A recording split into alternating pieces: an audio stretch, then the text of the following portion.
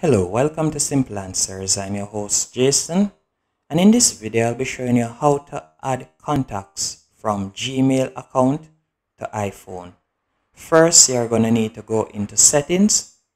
Once in settings, you're going to scroll down and you're going to select passwords and accounts.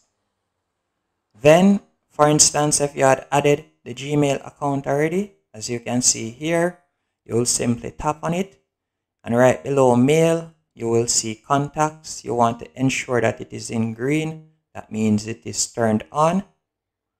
Once it is turned on you will see the contacts from this gmail account on your iphone.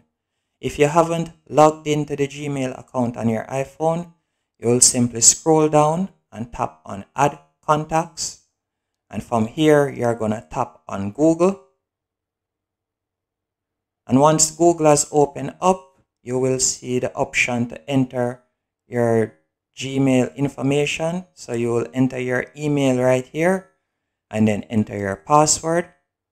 And then you'll ensure that just like I've shown you previously, you will ensure that the contacts is turned on. And that's it. That's how to import contacts from Gmail account to iPhone. Hope you found this video helpful and informative. If you did, be sure to hit the like button and also subscribe.